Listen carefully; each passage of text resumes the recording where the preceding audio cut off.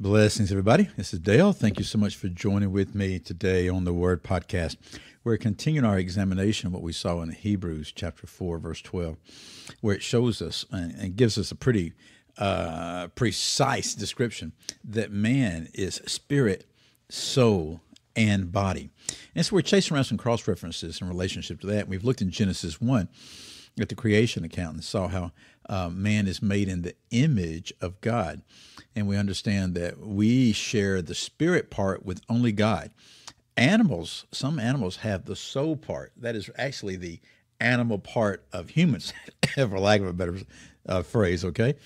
But we have spirit, we have soul, we have body. So, what I thought we'd do today is just very quickly, I just want to read through the second chapter of Genesis, which continues with the account gives other insights into the account of God creating. So here's Genesis 2, beginning with verse 1. Thus the heavens and the earth were completed, and all their host. By the seventh day, God completed his work which he had done, and he rested on the seventh day from all his work which he had done. Then God blessed the seventh day and sanctified it, because in it he rested from all his work which God had created and made. So that's really the end of the uh, creation account from the first chapter. So we see that he rests on the seventh day. And uh, that is just, just a little sidebar here. That is a picture of what God was going to be doing with mankind. God was setting the example for rest on the seventh day. Now, verse 4, Genesis 2. This is the account of the heavens and the earth when they were created, in the day that the Lord God made earth and heaven. Now, no shrub of the field was yet in the earth, and no plant of the field had yet sprouted for the Lord God had not sent rain upon the earth, and there was no man to cultivate the ground. But a mist used to rise from the earth and water the whole surface of the earth.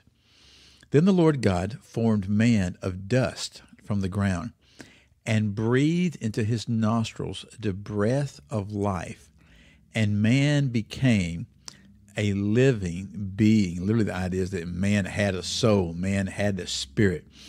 So this ties into what we've we're looking at out of Hebrews in Genesis one, that the Lord formed man out of the dust of the ground, and so you have this entity, you have this body, but then the Lord breathed into his nostrils the breath of life. The Lord God is the one that brought forth the life. Now, verse eight, the Lord God planted a garden toward the east in Eden and there he placed the man whom he had formed. Out of the ground the Lord God caused to grow every tree that is pleasing to the sight and good for food. The tree of life was in the midst of the garden, and the tree of the knowledge of good and evil. Well, we've seen that already, and he's about to talk a little more about that. But see, there were actually two trees in the midst of the garden the tree of life and the tree of the knowledge of good and evil. Verse 10. Now a river flowed out of Eden to water the garden, and from there it divided and became four rivers. In other words, like four heads of the rivers. The name of the first is Pishon. It flows around the whole land of Havilah, where there is gold. The gold of that land is good. The bdellium and the onyx stone are there. The name of the second river is Gihon. It flows around the whole land of Cush. The name of the third river is Tigris. It flows east of Assyria. And the fourth river is the Euphrates. Verse 15. Then the Lord God took the man and put him into the Garden of Eden to cultivate it and to keep it. The idea of cultivating there is that he tended the garden. He didn't have to work the garden from the perspective that we understand work by the toil of the brow. He cultivated it, he tended it. Verse 16 The Lord God commanded the man, saying, From any tree of the garden you may eat freely, but from the tree of the knowledge of good and evil you shall not eat, for in the day that you eat from it, you will surely die. Then the Lord God said, It is not good for the man to be alone. I will make him a helper suitable for him. Verse 19 Out of the ground the Lord formed every beast of the field and every bird of the sky and brought them to the man to see what he would call them.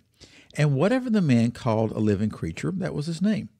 The man gave names to all the cattle, to the birds of the sky, and to every beast of the field. But for Adam there was not found a helper suitable for him. a really sort of poignant type of thing right here. The Lord creates all these animals, and in the first chapter we saw that it was after their kind, after their kind, right? So now he brings the animals to man, Adam, and Adam names them. But there was not a helpmate suitable for him. Well, God knew that, but he wanted Adam to know that. Okay, he wanted Adam to see that there was something special that God was going to do for him. He had to realize what was happening. This really speaks to a lot of things within our society today of how the enemy perverts man and how he perverts creation. So, verse 21 So the Lord God caused a deep sleep to fall upon the man, and he slept. Then he took one of his ribs and closed up the flesh at that place. The Lord God fashioned into a woman the rib which he had taken from the man and brought her to the man. The man, the man said, This is now bone of my bones and flesh of my flesh. She shall be called woman because she was taken out of man. Uh, the, the she right there, man is ish, the woman is isha, okay, is the Hebrew. So he's saying this one was taken out of me. So Adam knew what had happened. He said, This is it. This is a lot better than Fido over here. This is a lot better than the cat. This is a lot better than the birds. This right here is bone of my bone and flesh of my flesh. And he realized that this is something important. Now, this is interesting. The last two verses, Genesis 2 24. For this reason, well, for what reason? Because she, she yeah, the woman is bone of my bones, flesh of my flesh.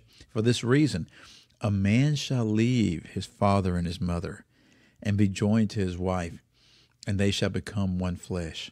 And the man and his wife were both naked and were not ashamed. That's interesting, isn't it? We're very familiar with that. Uh, that a man shall leave his father and his mother and to be joined to his wife, and they shall become one flesh. It's a great little phrase right there that comes from uh, somebody maybe 100, 150 years ago. I ran across it. I actually heard it from a pastor friend, then I read it in an old commentary years later, talking about what happens here. That the man leaves, okay? The man leaves his family. He's joined to his wife, he cleaves to his wife, and they shall become one flesh. They are woven together. So there's a leaving, there's a cleaving, there's a weaving. Okay, it's easy to remember that way. The leaving, cleaving, and weaving. He was showing, the father was showing the pattern for the family. Now, what's interesting, this is written during the time of Moses, okay, as an account of creation. And this, so this is explaining where these things have come from and what's happened, okay? Explaining how uh, man created in the image of God. Remember what it said in the first chapter, male and female. Now, how male and female will be one flesh together in the marriage covenant. And you notice what they were. They were naked and were not ashamed. Why were they naked and not ashamed? Well, they haven't been rebellious. They hadn't sinned against the Lord. They hadn't gone against the one thing He told them not to do. I think there's more to it than that. I think they were covered in the Shekinah glory of the Lord. And when they did rebel, when they did sin, they realized something's happened here. The Lord had woken, had a broken relationship there. They had broken the relationship with the Lord, and the Lord had taken away His glory from them, and they saw themselves for who they were without the Lord exposed. Anyway, uh, some wonderful, wonderful things here about how we are spirit, soul, and body, even down into the relationship between the husband and wife. Again, I'm Dale. Thank you so much for your time, and I'll see you next time. Goodbye.